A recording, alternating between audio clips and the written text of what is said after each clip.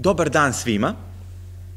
Povod za današnju temu je višestruk. E, jedan je jučerašnja slava grada Novog Sada, e, praznik Đurđic, obnovljene hrama Svetoga Georgija. Praznikom je posvećena jedina novosadska katedrala, zapravo saborna crkva eparhije Bačke. I druga dva povoda koje su opšte poznata, jedno je Novi Sad, evropska prestonica kulture i Novi Sad, e, prestonica mladih. I to se sve nekako uklapa u sve ove godine koje su za nama i koje su pred nama, a približavamo se kraju ove jedne vrlo specifične i turbulentne, po mnogo čemu drugačije godine od onih na koje je makar ova postmoderna generacija navikla. I uvek je e, dobro kada govorimo o istoriji Novog Sada, vraćati se u njegovu najstariju istoriju i pokazivati nešto što mi istoričari zapravo dobro znamo, a što možda e, onima koji to nisu ponekad ispadne iz vidokruga, a to je da su značajna gradska naselja imala kontinuitet e, zaista ne vekovima, nego neretko i milenijumima unazad. E, jedna metodološka observacija na početku, koja mislim da je važna kada se govori o ovoj temi, naime danas imamo teritoriju koju administrativno zovemo područje grada Novog Sada, ono je administrativna e, obuhvata i određena e, susedna naselja i zapravo to su te podele na gradove i opštine kao i okruge koje postoje u savremenoj Srbiji. Zbog toga je u naslovu Novi Sad i okolina, jer recimo Petrovaradin, koji će biti svakako jedan od ključnih aspekata e, ovog predavanja, nije Novi Sad. I zapravo je tek vrlo skoro pripojen formalno i administrativno gradu Novom Sadu. E, isto tako neka druga naselja. Ako govorimo o srednjem veku, koji je nama danas ovde u fokusu, područje današnjeg grada Novog Sada je izdeljeno na više e, naselja, plus taj uži deo, da ga nazovemo ono što je bio Petrovaradin sa ove strane Dunava, e, dakle, Novi Sad, Vašaroš Varod, iz koga će kasnije iznići moderno naselje, dok i uzet ćemo u obzir i nekoliko naselja sa sremske strane, pre svega mislim na Petrovaradin kao e, žilu kucavicu čitavog ovog prostora, jer upravo je Petrovaradin e, taj, zahvaljujući kome je nastao u moderno doba Novi Sad, kao i sremsku kamenicu. Zbog toga ovaj naslov Novi Sad i okolina, koji e, u svojoj suštini treba da metodološki pomiri ovaj savremeni, e, savremeni prostor na kome živimo i na kome živi evo danas gotovo pola miliona ljudi i taj istorijski srednjovekovni koji je zapravo obuhvatio više različitih naselja. E, kada se govori o tom nekom kontinuitetu naseobina, prvo što pada na pamet jesu iskopavanja od pre nekoliko godina, to nije bilo ni tako, ni tako davno, možda desetak, možda čak i manje, Na Petrovaradinu je pronađeno eneolitsko e, naselje, a postoje i neki tragovi naseobina iz paleolita. Ovo je sve, ovo sve izuzetno važno, bez obzira što se ovo radi dakle, o praistoriji, to je u domenu arheologije, a ne istorije, pogotovo ne one kojom se ja bavim. E, međutim, pokazuje nešto zbog čega su i naselja e, u okolini Novog Sada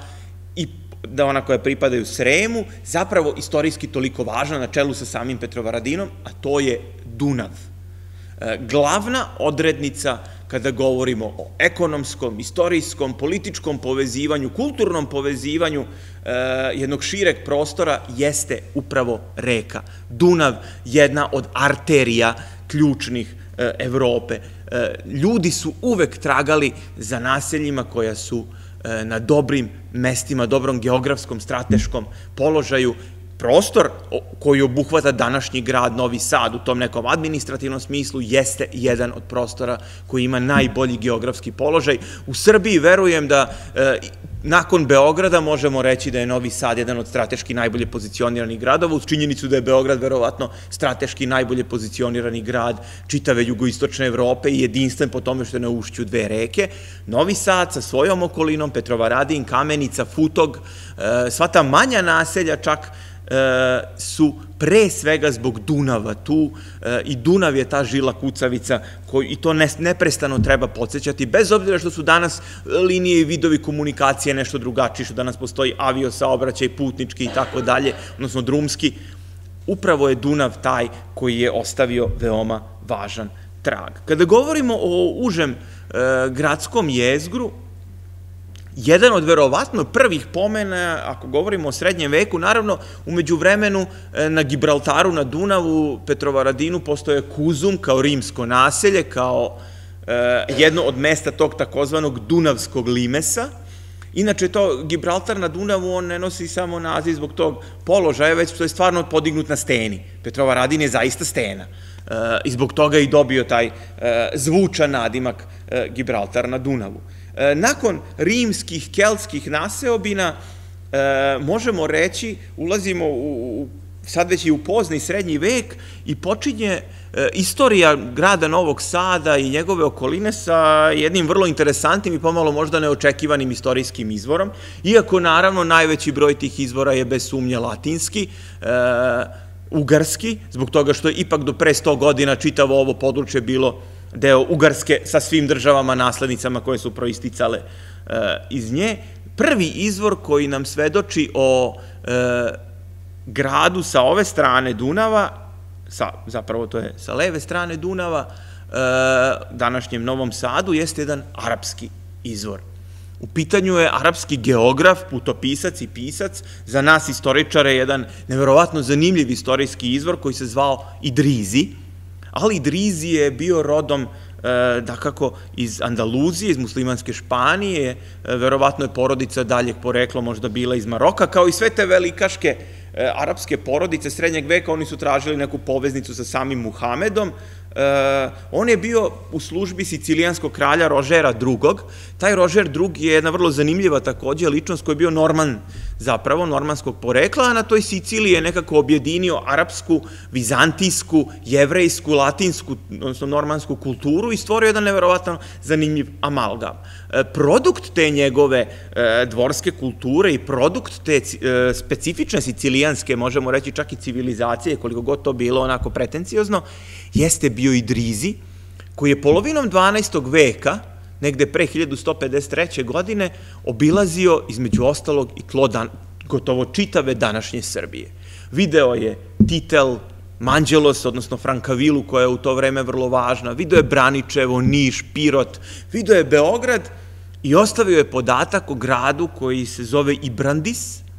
a koji je zapravo Varadinus, jeli, Varadin, a to je današnji Novi Sad, ova druga e, obala Dunava, jer znamo već iz drugih podataka da se i ovaj e,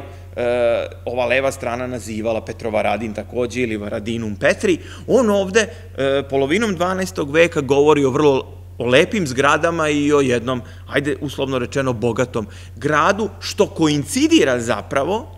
sa nekim drugim izvorima koji svedoče da je ovde postojala i nekakva, ajde nazovimo je kraljevska rezidencija, dakle palata vrlo uslovno, ali sigurno neki prostor koji, na kojem je moguće u nekim momentima i sam vladar rezidirao. Dakle, možemo reći da je ovo verovatno, e, uz određene, naravno, kako ono što mi istoričari ipak imamo manje ograde, e, verovatno i prvi pomen, e, siguran pomen da postoji već formirano napredno naselje na nekom užem gradskom jezgru današnjeg Novog Sada. Ono što je, međutim, e, zaista e, poseban početak e, te srednjovekovne istorije koja je dao onako pravi zamajac životu na ovom području, naravno sa akcentom na Petrova Radin, jeste ovde je naravno, to je moderni prikaz iz, iz mađarskog slikarstva, to je taj, to ubistvo kraljice Gertrude, e, majke ugarskog kralja Bele IV. Ovaj atentat je za istoriju Novog Sada izuzetno važan. Jedan od zaverenika u ovom, e, u ovom atentatu, ovde prikazanom ili kroz taj pozorišni komad Bang Ban, e, jeste bio izvesni Petar, sin Gurveja, e, koji je imao posede na obe strane Dunava. E, taj Petar, očekivano, pošto je zavera otkrivena, kraljica je ubijena, zaverenici su e, otkriveni i naravno poubijani su, već odmah su kažnjeni smrtnom kaznom, što je nekako možemo reći očekivano. Taj Petar, e, koji je imao posede, je eto nestao iz istorije i to na jedan takav način da je izvršena nad njim egzekucija zbog učešća u zaveri protiv Ugarske kraljice, ali nam je ostavio nešto do dan danas svima nama i svima onima koji žive u Novom Sadu, dolaze, prolaze kroz Novi Sad, a to je naziv Petrova Radin. Po njemu, kao njegova tvrđava, e, taj Petar e, je, eto, ostao zapamćen u čitavoj ljudskoj istoriji do danas po njemu je, dakle, Petrovaradin dobio i poneo ime, a u tom delu Bang Ban, Jožefa Katone, da on to i dan danas e, lektira u mađarskim školama, na veliku žalost, iako je jako bitna za istoriju Novog Sada, ovo delo nikad nije u celosti prevedeno, ali ja mislim da jeste libreto, pošto postoji opera Bang Ban koju je komponovao Ferenc Erkel, e, koji je inače komponovao i muziku na, na himnu Mađarske, na himnus, e, I dakle, zapravo Petrovaradin je tako do danas jedan od integralnih delova e, mađarske kulture i književnosti, jer je upravo taj Peturban, kako je on naveden kao jedan od likova e, dela Bang Ban, e,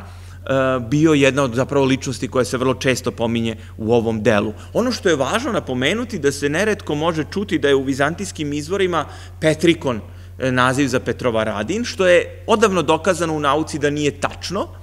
već se to odnosi na Banoštor, jer Banoštor je na mađarskom nosio ime K, odnosno kamen, a grčki ekvivalent je Petros, e, odnosno e, što isto znači kamen stena na e, grčkom kao i K na, na, na mađarskom. Petrovaradin, dakle, nosi ime po tom Peturban, odnosno Petru sina, Gur, sin, sinu Gurveja, koji je učestvovao u ovoj zaveri i imao posede sa obe strane i po njemu se obe strane zato i nazivaju Petrovaradin. Kada se ovo desilo, Bela četvrti je odlučio da učini e, jedan veoma značajan potez za crkvenu, političku, društvenu, pre svega privrednu i kulturnu istoriju čitavog ovog područja, e, a to je da iz Francuske, iz Šampanje, dovede monahe cistercite. Cisterciti nastaju upravo negde tako u 12. veku, oni su e, monaški red u krilu rimokatoličke crkve koji je težio obnovi tog izvornog benediktinskog e, monaštva i e, želeći zapravo da na mesto koje je oduzeo tom Petru dovede e, ove ljude, upravo je pozvao iz Francuske, iz mesta koje se zove Trois Fontaines. Trois Fontaines na francuskom znači tri izvora. Ovde se nalaze danas, e, to su ostaci srednjovekovnog e, samostana, koliko znamo, oni dan danas naravno postoji nova zgrada i ove, ovi ostaci srednjovekovnog samostana Trois Fontaine su zapravo e, možemo reći, mesto odakle cisterciti dolaze na Petrovaradin i ove ruševine koje je redko ko zapravo u Novom Sadu imao prilike da vidi čak i na slikama uživo, zaista sumnjam da je to veliki broj ljudi, e, ovo je zapravo prostor u Šampanji koji je iznimno bitan kada govorimo o istoriji e, Novog Sada. E, kao što vidite, to je jedna e, crkva koje, su preostali neki delovi unutrašnjosti, mogu se videti ovi prelomljeni lukovi, mogu se videti delovi oltara, ulaza u samu crkvu. Ovo je ona e, s polja uslikana, dakle ovo je ono što je ostalo danas od tog srednjovekovnog samostana, odnosno od te glavne samostanske crkve. I upravo jedan deo tih cistercita iz Trois Fontena je došao potom na Petrova Radin. I budući da se kralj zvao Bela, da se njihov e, manastir zvao Triumfoncium, Trois Fontaine, tako je i Petrovaradinska opatija dobila ime Bela Fons, što znači Belin izvor. Oni su dakle iz tri izvora dovedeni na Belin izvor i on se često nalazi u izvorima srednjovekovnim se pominje kao apatija Bela Fons, e, mada se nalazi i Varadinum Petri ili e, Petrovaradin i tako dalje u tim raznim latinskim oblicima. Taj samostan bio je posvećen Bogorodici, imao je samostansku crkvu Svete Marije. Ova povelja, uz onu povelju Marije Terezije kojom se proglašava slobodni kraljevski grad Novi Sad u 18. veku, ova povelja predstavlja zapravo jedan od najvažnijih, ako ne, ja ću se kao medijevista usuditi i reći, najvažniji dokument u istoriji ovog grada i njegove okoline.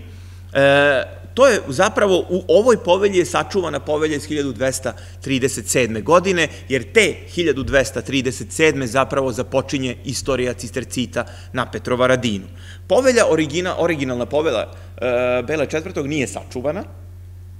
Ovo je zapravo povelja e, kaptola u Banoštoru,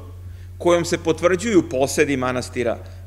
Bela Fons, u kojoj je sadržana jedna povelja kralja Ladislava, u kojoj je sadržana pak ova povelja e, Bele četvrtog iz 1237. godine. Po mnogo čemu ona se smatra jednom od rođendanskih povelja Novog Sada i njegove okoline, jer ne samo što potvrđuje da je te godine osnovan cistersitski samostan u Petrovaradinu, nego se ovde, a to je jako važno, nabrajaju posedi ovoga samostana. Za sve one koji žive u Novom Sadu, vrlo je važno da se tu pominje recimo Sajlovo,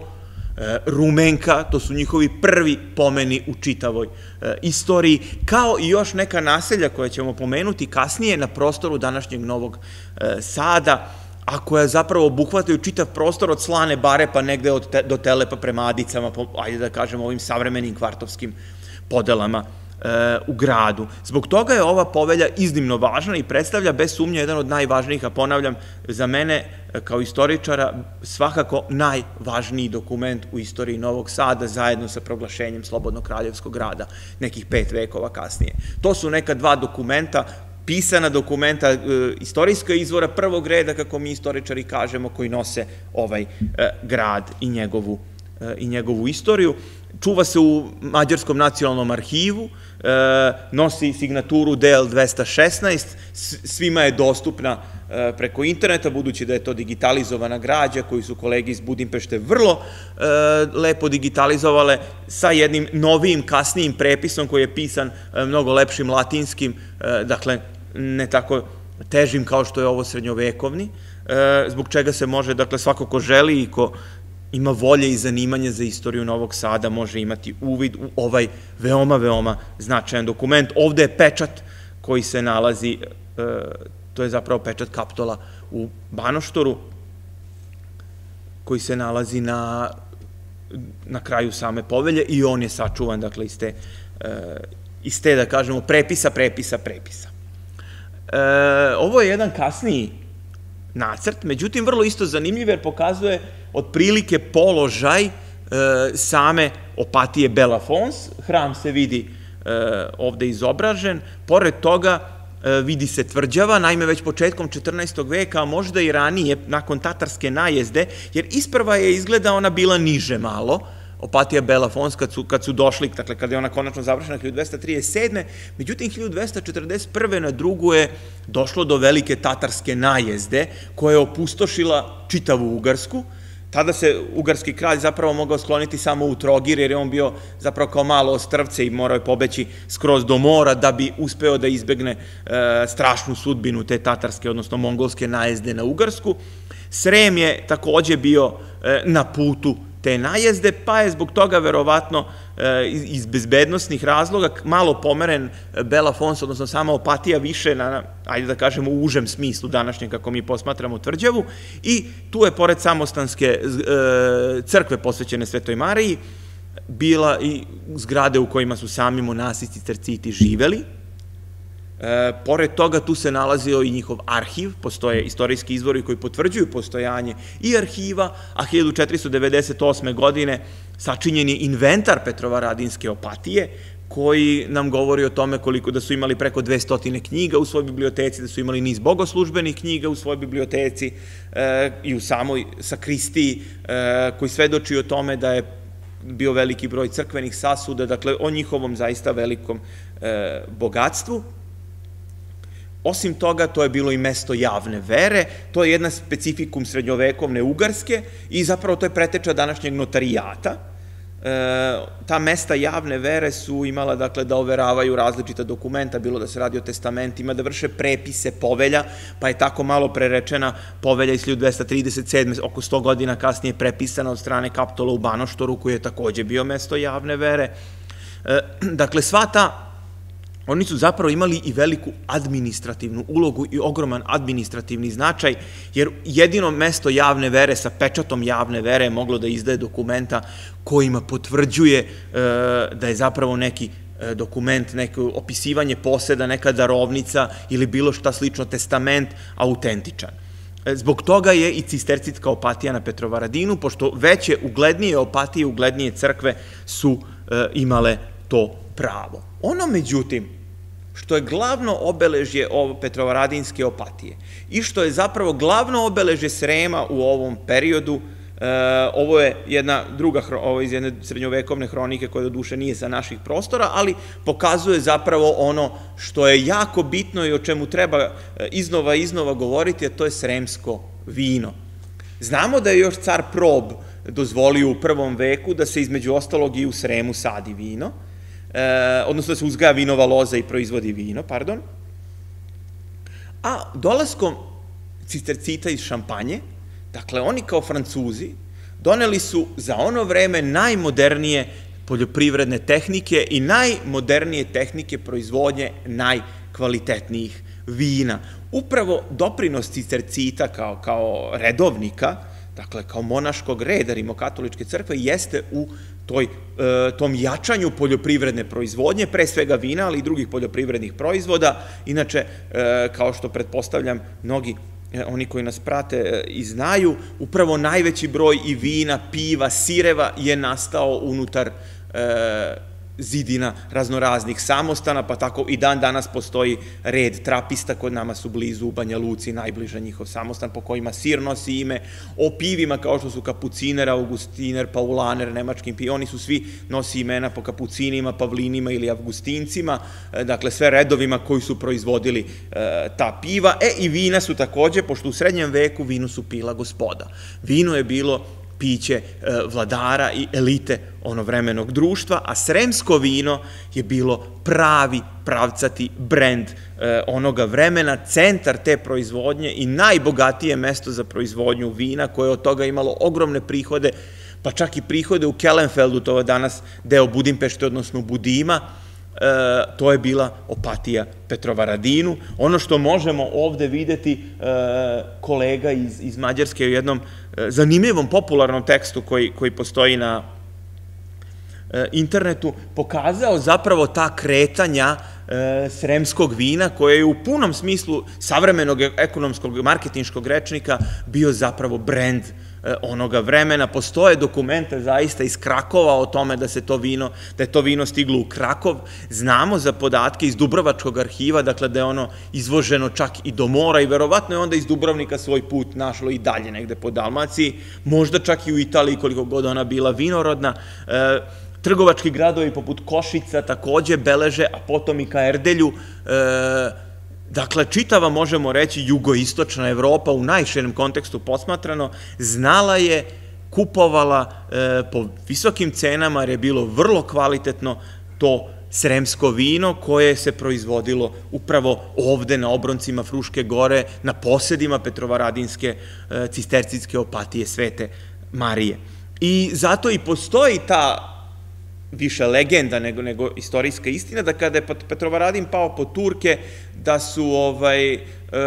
da je kao Tokajsko vino nastalo od toga. Tokaj je i ranije bio vinorodni kraj, to treba isto reći. I moguće je, međutim, prema nekim, kad sam razgovarao sa kolegama iz Mađarske, da su možda pojedine sorte Tokajskog vina i nastale kasnije u novom veku pod uticajem e, ove bogate cistersitske opatije. Ovo što je rađeno, dakle, prilikom istraživanja ovog kolege iz, iz e, Mađarske, on je napravio jedan vrlo zanimljiv klimatski pregled, ja ću samo na brzinu otprilike prevesti redom, dakle, e, imamo ovde, dakle, ono što je zanimljivo, da je najviša prosečna temperatura, on je uzeo ovde uporedio tri najznačajnije vidorodne regije e, istorijske Mađarske, To su Tokaj, Vilanj, oko današnjeg Pečuja i Srem. U Sremu je otprilike i najviša temperatura, 11,12. Najviša e,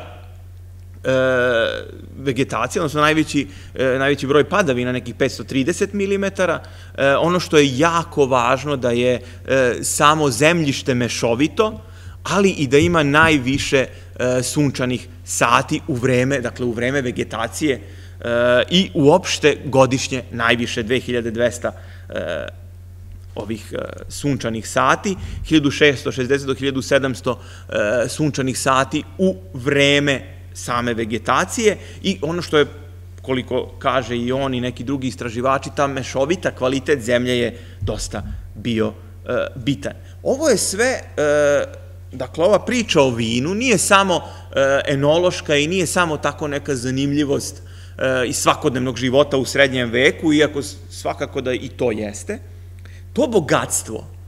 Petrovaradinske opatije uslovilo je i to da najugledniji ljudi onoga vremena, ugarski kraljevi i još neke veoma važne svetske istorijske ličnosti borave u Petrovaradinu ili žele da borave u Petrovaradinu. U vreme kada je e, izumrla dinastija Arpada 1301. godine, u borbi za presto jedan od kandidata bio je Karlo Robert Anžujski Poticao je, dakle, bio je Francus poreklom, e, Anžujci su tada vladali u Napolju i on je rodbinskim vezama imao pravo na presto Ugarske. Budući da je čitavo ovo područje uglavnom bilo naseljeno da li e, ugarskim, odnosno mađarskim stanovništvom ili Slovenima, a da je on ipak došao iz Napulja i da je bio Francus poreklom, jedino mesto gde se on mogao sigurno osjećati među ljudima koje je razumeo,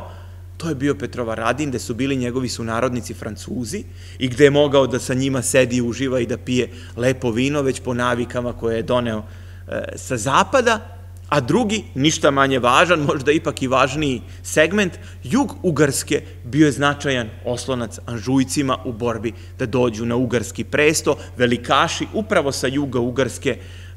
bili su ti koje je Karlo Robert Anžujski e, zapravo mogao da računa, na koje je mogao da računa u borbi da zacari e, nova dinastija Ugarskoj, što se zaista i desilo, njega je nasledio e, Lajoš Veliki, sve do 1382. Anžujici vladaju Ugarskom. To je vreme zaista velikog uspona Ugarske, E, i u jednom momentu je samo francuski kralj bio bogatiji od Ugarskog, pogotovo u vreme e, Lajoša Velikog, ali ne treba zaboraviti ni, ni njegovog prethodnika, koji je mnogo puta, pogotovo u periodu negde do 1315. godine, kako kažu u savremenoj historiografiji neke moje uvažene kolege koji su se time takođe bavili, Petrovaradin je bio zapravo prestonica maltene jednog anžujskog kralja. Druga važna ličnost koja je tu boravila, boravio je tu i kralj i car Žigmund Luksemburški, međutim, više je ovde boravio i ostavio značajniji e, utisaj kralj Matija Korvin. Vrlo važan vladar, e,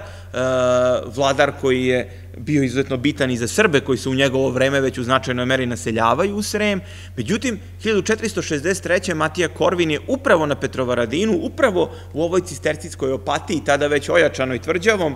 sa Mletačkom republikom potpisao e, prvi, možemo reći, sporazum ove dve zemlje za borbu protiv Turaka. Dakle, sklopljen jedan međudržavni ugovor čiji je cilj bio da se spreči sada sve izvesnije napredovanje e, Osmanlija, jer samo sedam godina ranije bila je bitka kod Beograda, taj ta velika odbrana Beograda od strane hrišćanskih snaga pretvođenim Janošom Hunjadijem i e, svetim Jovanom Kapistranom. Zbog toga Petrovaradin, koji se upravo tu nalazio na udaru, imao je da bude mesto ovog važnog susreta. Međutim, krajem 15. veka, negde u periodu 1495. do 98. E, pa i nešto ranije od 1493. godine, e, Petrovaradin, koji je vremenom ostao bez svojih opata i malo je u određenom smislu zapusteo, iako je bio i dalje izuzetno bogat, e, ostao je bez neke vrste svog gubernatora i da se tako izrazim, šapu na Petrovaradinsku tvrđavu i na ovu prebogatu opatiju, stavila je jedna od najmarkantnijih ličnosti svetske istorije i jedna od najozloglašenijih ličnosti svetske istorije, kardinal Rodrigo Borgia, potonji papa Aleksandar VI. E, ono što je jako bitno, Borgia nikad nije bio na Petrovaradinu, dakle da se razumemo, on nije e, direktno boravio na ovom prostoru, što se ponekad može pročitati negde po internetu, ali je bio prvo kao kardinal, potom kao papa preko svojih nekih izaslanika, e, prvo Angelusa i još nekih, e, vrlo zainteresovan da e, ponešto od prihoda ove prebogate opatije stavi i u svoj džep.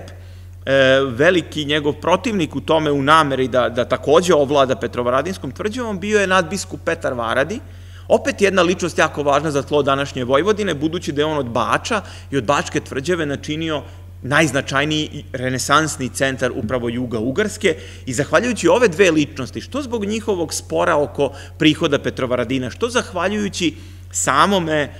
Petru Varodiju i njegovim e, nastojanjima da zaista taj Bač postane pravi renesansni centar, e, renesansa u isto vreme kada je u Italiji bila i na tlu Ugarske, bila i na tlu današnje Vojvodine, bila je upravo tu nedaleko i od samog grada Novog Sada, dakle na tom čitavom potesu od Bača do Petrovaradina e, i to je izuzetno jedna važna epizoda iz istorije E, Novog Sada. Na kraju e, Opatija je pripala Kaločko-Bačkom nadbiskupu, isplaćena su prava e, kardinalu kojeg je delegirao u to vreme papa Aleksandar VI, odnosno Rodrigo Borgia, kako mu je bilo svetovno ime, i na taj način zapravo petogodišnja epizoda upliva ove, kažem, jedne od najuzloglašenijih ličnosti svetske istorije na, na prošlost Petrovaradina i Novog Sada se ipak završila krajem srednjeg veka već nalazimo i dokumenta koje su vrlo interesantna za istoriju i ove strane, e, leve strane Dunava, današnjeg zapravo Novog Sada. Postoji vrlo malo podataka umeđu vremenu šta se e, ovde dešavalo, čak i oni podaci iz 1331. koji govore o sakupljanju desetine, verovatno se odnose na podgrađe. Podgrađe Petrovaradina je takođe e, imalo e, crkvu i podgrađe je postojalo u srednjem veku, dakle, bez obzira što je ovo sadašnje koje imamo, takozvani gradić, oprostit ćete što jedan istoričar ne može da to prevali preko usta, podgrađe Petrovaradina je bilo naseljeno još u srednjem veku. Dakle, o ovoj strani znamo vrlo, vrlo malo. Nešto je arheologija dala, ali tek prvi pravi izvor onako koji nam svedoči i o Novom Sadu i o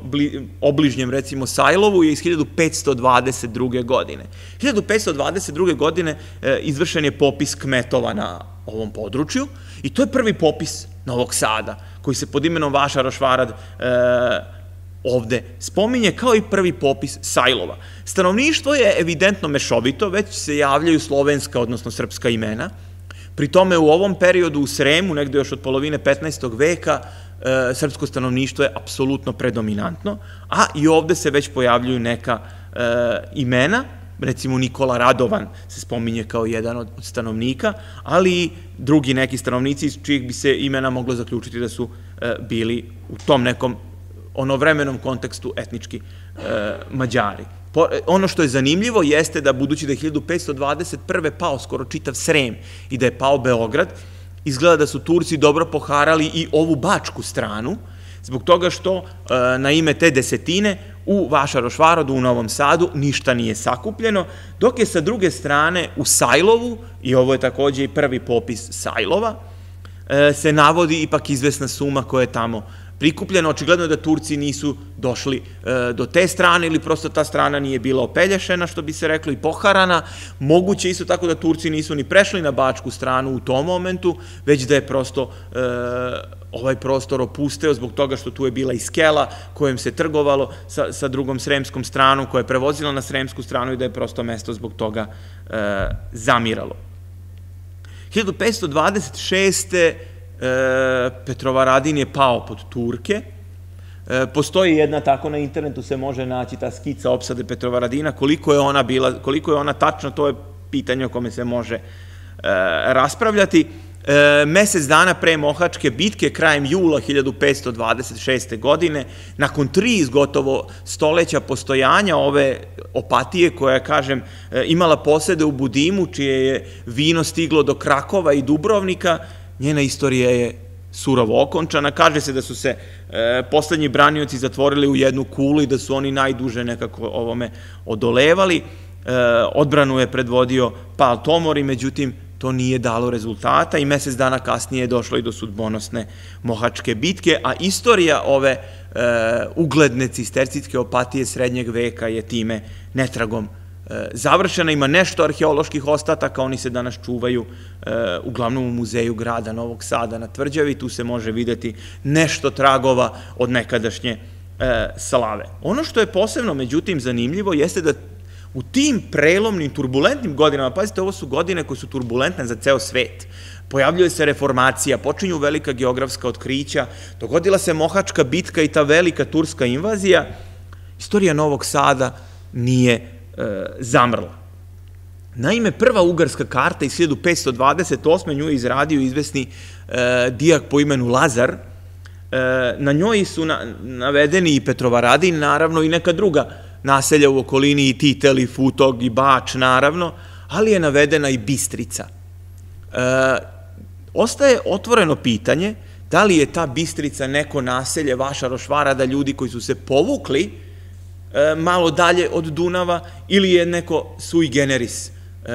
naselje na ovom području. Ono što je problem, sem ove mape i raznih drugih verzija ove mape, kakva je Mercatorova i neke druge, ne postoje izvori nikakvi o Bistrici. Možemo samo da zaključujemo da li se radi o e, Svetoj Mariji Bistričkoj, čiji kult već postoji u e, Slavoniji i Hrvatskoj, krajem 15. veka i postoji svetište Svete Marije Bistričke koja se smatrala zaštitnicom od Turaka ili se prosto radi o jednom standardnom slovenskom top, toponimu Bistrica kojeg imate svuda, imate i u e, Erdelju, odnosno u i dan danas grad koji se zove Bistrica. E, da ne govorimo o Slovačkoj ili nekim drugim slovenskim zemljama gde ovaj toponim je vrlo prisutan, pa u ostalom i na teritoriji čitave današnje Srbije i Balkana. Dakle, to je jako zanimljiv podatak za istoriju Novog Sada, jer se očigledno neko naselje na tlu Novog Sada nalazi na prvoj ugarskoj mapi iz 1528. ali o njemu ne znamo e, mnogo ili čak ne znamo skoro ništa. Prema nekim arheološkim iskopavanjima smatra se da je nekoliko od naselja koje su se nalazila na užem gradskom jezgru, da je e, današnja ulica Vatroslava Jagića, dakle e, Telepadice, taj potez, da je se tu nalazilo naselje St. Marton, Sveti Martin, ono se pominje u nekoliko e, ovih izvora. Takođe, postoje pretpostavke da se Bivaljoš izvesno nalazio na području Slane Bare, a da se vero možda iza njega nalazilo kasnije naselje Varad, a nešto bliže e, ovamo moguće nekom ne mora biti potez današnjeg novog naselja i, i prostora koji se naziva Bistrica može biti takođe više prema e, prema Klisi tamo da se tu nalazila. Bistrica, naravno, Sajlovo postoji čak gornje i donje se pominje u e, izvorima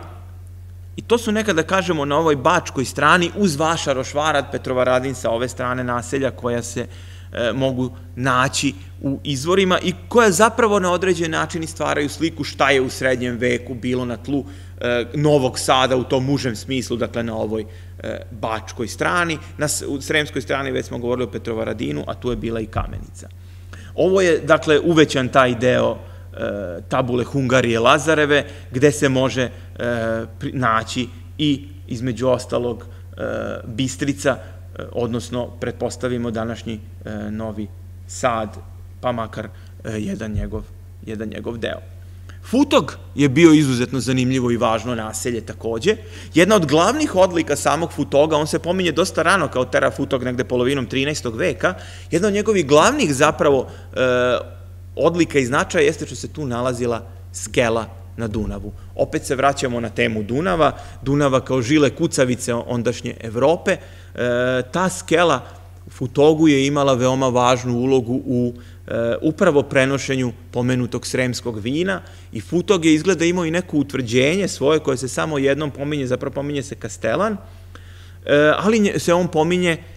i kao mesto državnih sabora Ugarske, a pominje se i kao mesto bitke protiv Turaka, gde je makar za kratko zaustavljena e, osmanska najezda nakon opsade Beograda 1456. Ono, međutim, što je posebno zanimljivo,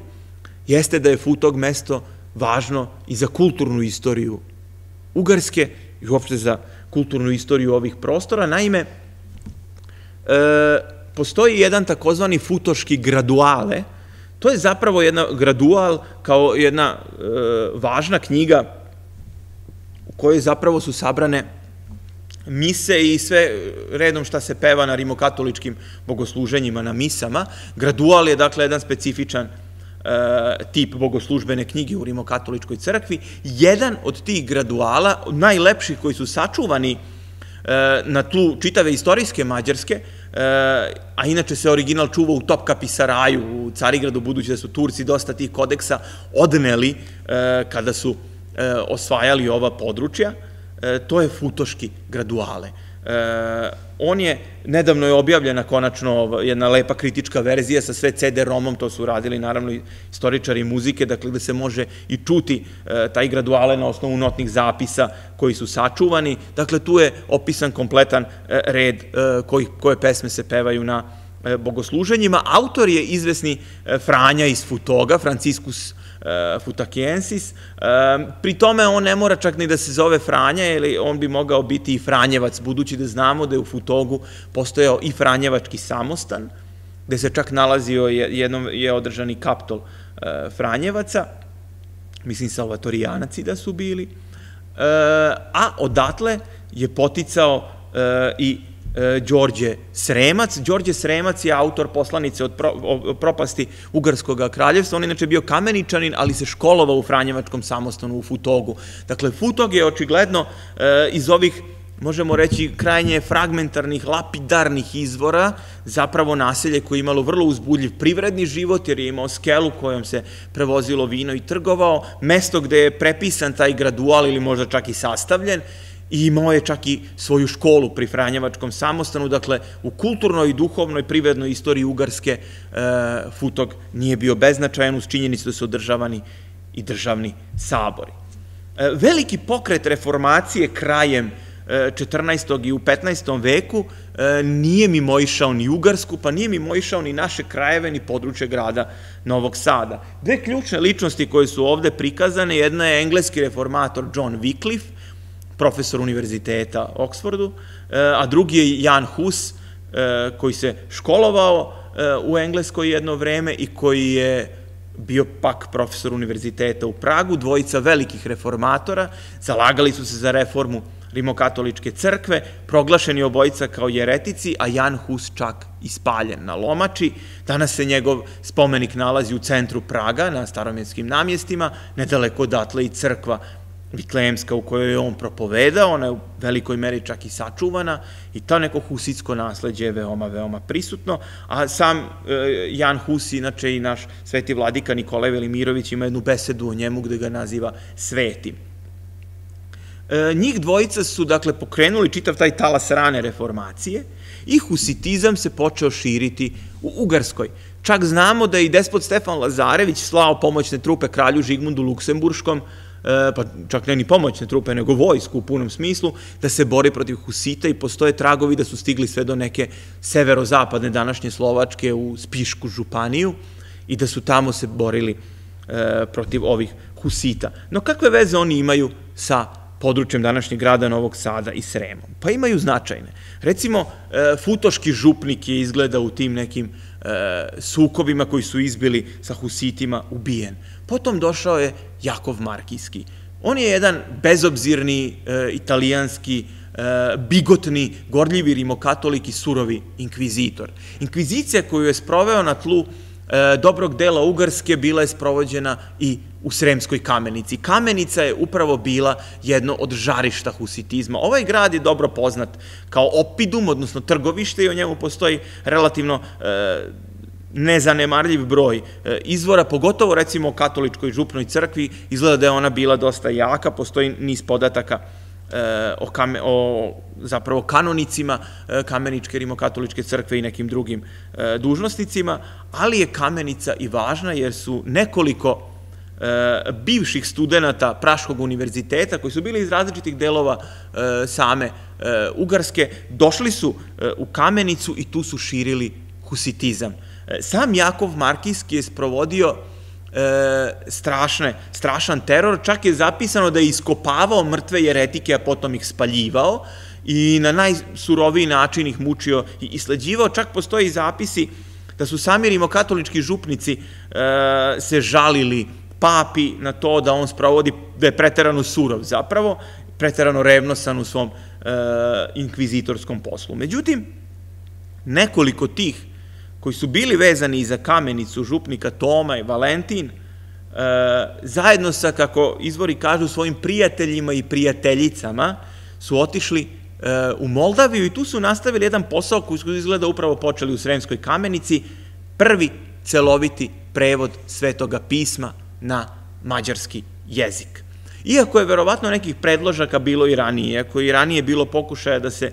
Biblija prevede na mađarski, tek su upravo ovi husiti i zbog toga se ona u historiografiji, uopšte u nauci, o nauci o književnosti, e, naziva Husitska Biblija. I to je zapravo se smatra, kažem, prvim kompletnim prevodom na mađarski jezik e, Svetoga pisma, koji, eto, čak i jedan takav događaj ima vrlo bliske veze upravo sa ovim područjem, odnosno sa današnjom Sremskom kamenicom, gde je na određeni način bio nukleusa vrlo moguće i početak samog prevoda. Istoričari jezika, istoričari književnosti u Mađarskoj se dosta Ima tu i nekih sporova oko toga kakav je ovo prevod. Naravno, katolički autori poznog srednjeg veka i pogotovo katolički autori u doba Habsburga su ovaj prevod ocenjivali kao e, veoma loš i do dan danas se smatra da je taj, da danas koji je bolji prevod, da je to zapravo taj rimokatolički prevod koji danas izdaje društvo Svetog Stefana, Sentištvan Taršulat, a da je ovaj protestantski koji kasnije dorađivao Karoli Gašpar, inače Srbim poreklom, E, da je lošiji i arhaičniji. Ovaj prevod, ako govorimo 15-vekovni, husitski, je izuzetno zanimljiv i sa te lingvističke strane, recimo naziv svetog duha je potpuno je drugačiji nego što je i u savremenom mađarskom jeziku, pa čak i u nekim mađarskim spomenicima srednjeg veka, što su pojedinci pripisivali bogumilskom ili patarenskom uticaju, dakle nekom tom uticaju iz Bosne, budući da neki izvori svedoče da izgleda bilo i tih jeretika e, na tlu Srema. Bilo kako bilo, e, kamenica e, je zbog toga ima veoma važnu ulogu, zapravo jednu od ključnih uloga, ako hoćete, u istoriji Biblije uopšte na mađarskom jeziku i jedno od mesta koje, ako govorimo o mađarskoj kulturnoj istoriji, e, ima vrlo značajnu poziciju kao prostor na kome su e, se desile e, veoma velike i značajne stvari zapravo za istoriju ovog, ovog područja, a to je taj prvi prevod Biblije. Pomenut Đorđe Sremac, ovde se nalazi njegov zapis na zakletvi e, ugarske vlastele. On je bio kapelan prvo kralja Lajoša II, a potom je stao na stranu Jovana Zapolje. Bio je baš rođeni kameničanin i ostavio je važan trag o tome da je u krajem srednjeg veka on je odlično znao srpski. Naučio je srpski zbog toga što je kamenici su bili Srbi već apsolutna većina, kao i na tom čitavom E, području Srema, dakle ovom koji je e, naginje ka Dunavu, opet kažem onom delu koji pripada zapravo današnjem gradu Novom Sadu, da je to već krajem srednjeg veka bilo apsolutno e, srpski, srpsko stanovništvo predominantno i on je taj koji u svom delu, koji se inače zove poslanica o propasti Ugarskog kraljevstva, epistola de perdicione regnum hungaricum, on tu navodi da je, čak znam za sebe kaže, dobro sam naučio trački, on Srbe naziva tračanim, on arhaizuje kao i većina e, izvora, i budući da je sa njima odrastao i mogo je da komunicira e, sa Srbima i razumeo i tako recimo ostavlja i te najpoznatije, on daje najviše podataka recimo o caru Jovanu Nenadu i daje prve podatke o caru Jovanu Nenadu kad on dolazi na Tokajski sabor da se zakune Jovanu Zapolji, to je sve ovaj Đorđe Sremac, to Sremac je naravno nadima koje je on dobio, on je odlazio i na studije u inostranstvo, bilo je dosta studenta upravo iz Srema i sa ovog područja, iz Petrovaradina je bio jedan cistercit koji je otišao u Beč da studira teologiju, što govori da je e, i obrazovanje imalo značajan e, upliva na, na području današnjeg grada Novog Sada, makar ovog sremskog dela i, i Futoga. Dakle, to su neki e, krajevi iz kojih imamo podataka da je bilo studenta koji su odlazili u Beč i Krakov na studije i ponešto, e,